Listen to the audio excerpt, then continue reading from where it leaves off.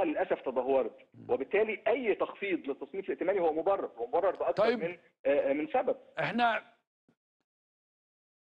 شفنا أعلى سعر للدولار في البيع الآجل. أيوه رقم غريب شوية. آه، هل ده يعني شيء؟ أنا مش عايز أقول حتى الرقم. آه،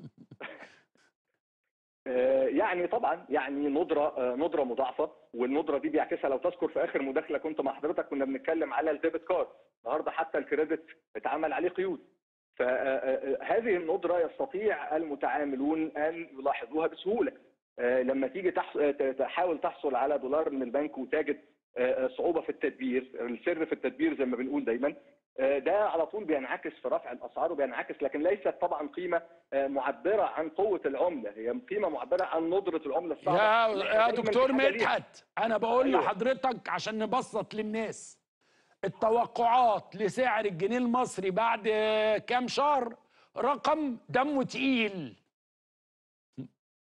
صح. آه يعني. رقم أنا ما أحبش أكرره دي حقيقة. لا وهي توقعات حتى في في أسواق الاجله يعني الأكثر تفاؤلا بتتكلم على زيادة 74% عن السعر الحالي. آه، في الاجل في الأجل ال- ال- المتوسط أو يعني أو حتى في أجل خمس سنين يعني. آه، فدي نسبة مش قليلة يعني. إحنا هنبقى يعني آه، عدينا الخمسينات يعني. وبالتالي دي مسألة أو دخلنا في الخمسينات. فطبعا دي مسألة آه، آه، آه، مربكة. ولما تيجي تعمل حسبتك طبعا حضرتك عارف إن مش مش بس الإنفاق الحكومي اللي هيتضرر كل الاستيراد هيتضرر كل الأسعار هتتضرر.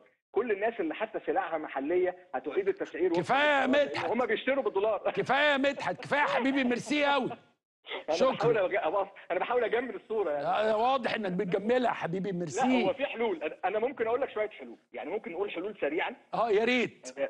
يعني إحنا محتاجين زيادة تدفقات رؤوس أموال آه، بسرعة جدا. آه، آه، محتاجين رؤوس أموال دي تدخل. بشكل استثمارات مباشرة. دي بسيطه محتاجة آه تسهيل وبيئة تشريعية أفضل وتخارج آه. دي أسهل حاجة.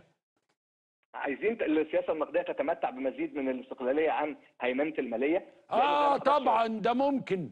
آه طبعا. بس حتى الصندوق كان بيقول لك إيه في آخر في الاجتماعات الأخيرة؟ قال لك أنت ما زلت أنت وتونس محتاجين tightening يعني محتاجين برضه رفع السعر والفايده الب- طبعا كل ما تيجي ترفع الفايدة أو تتحرك هتلاقي مشكلة آه، من السياسة المالية.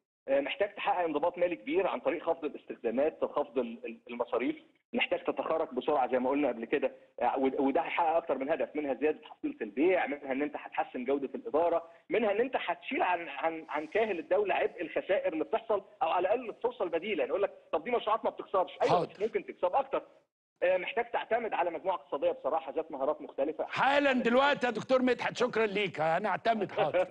أنا مجموعة اقتصادية حالا دلوقتي أجيب حاضر شكرا ليك.